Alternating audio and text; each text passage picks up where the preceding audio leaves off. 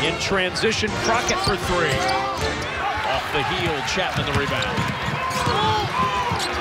Chatman in transition. Pull up two, and there's a good sign for Creighton. Hot, you want to on the party as well. Hegner will try to light a fire, and he does for the Blue Jays. What do you do here if you're Creighton? You've gotten blitzed, obviously, to start this ball game. You know it's a long way till the end, but what do you do to get back? Austin Chatman go make a play for him. You got to get, you got to do something here. How about that? There it is. Your best player when you Rains one down for DePaul. I've seen a lot of DePaul basketball this year. They are more locked in in this game early than I can recall. To see him get going, just eight points a game over his last six. More importantly, shooting was 37% in that time. Here's Chatman off the inbound for three. Big bucket for the Creighton Blue Jays. Create off the bounce, but he's got to make something happen. Four to shoot. Guarded three, but he got it. That's a tough, shot. To pick some outside jumpers and attacks at the rim. Zierden for three. They need to get him going, and he hits his first bucket of paint. Tommy Hamilton had really nowhere to go forcing the turnover. Open for three. Hegner reigns it home. Creighton's within eight, and a timeout. DePaul.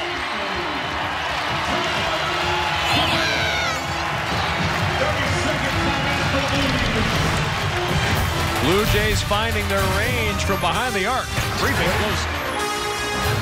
Playing very much like a team that at the end of the day wants to be the only unbeaten team in conference play. Yeah, they, they knew the challenge coming in here to Creighton. I don't care if Creighton is, hasn't won a conference game yet. This is still a tough place to play. There's a big three for James.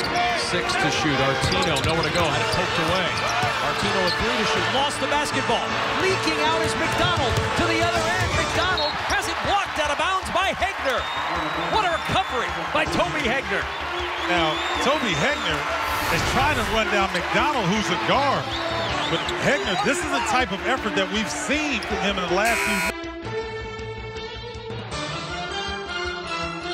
Not allow high percentage shots like that.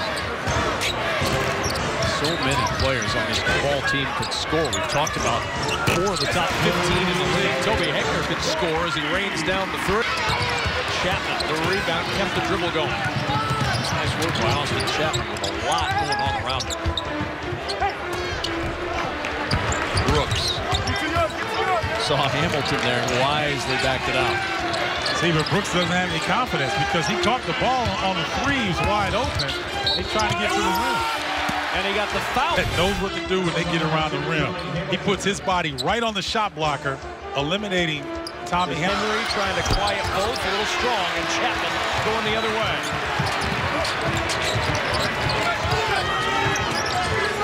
In the corner, Milliken for three. And here come the Blue Jays.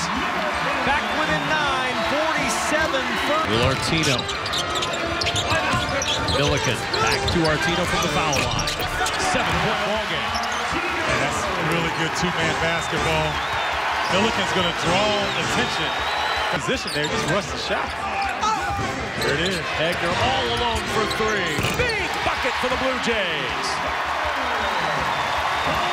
Jays are closer, closer than they've been since the 1802 mark in the first half. Got by 11. Nice job. Once again, Billy Garrett Jr. got his waiter's hat on. Oh, Hegner's got his fifth made three of the night. The answer for the Blue Jays. Where he sometimes struggles. But tonight, they seem to be all intact. Isaiah Zierden. Entry to Hanson down low against Robinson with the hook. Zach Hanson. At the next level. He, was poised. He got to the lane. He didn't charge. A nice floater for a six-foot-five point guard. Zierden with the ball away, gets it to go down on a timeout. Well, they started six and one, then they lost six straight. They're on the verge of going three and zero in the Big East, but this game not done yet. 3:47 to go, and Creighton with a chance to cut it back to single digits.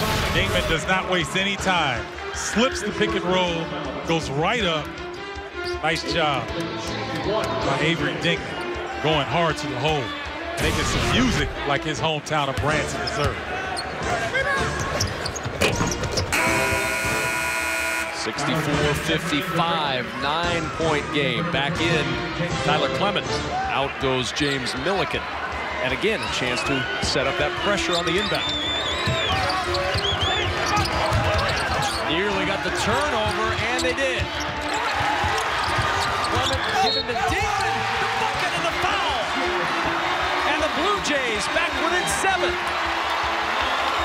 Aaron Simpson gets caught in Kaufman's corner and then leaves his feet. Right there, left his feet. Toby doing a good job of tracking it down. Dingman comes in. Once again, second time. So now he's matched with Dingman on the drive to the rim. Can't get it. Dingman the rebound. Jay's now looking to push. Hegner fell down. He was a little late in there, so Creighton didn't have numbers. Had to take some time. Chatman with the step back and the two. That's a big time.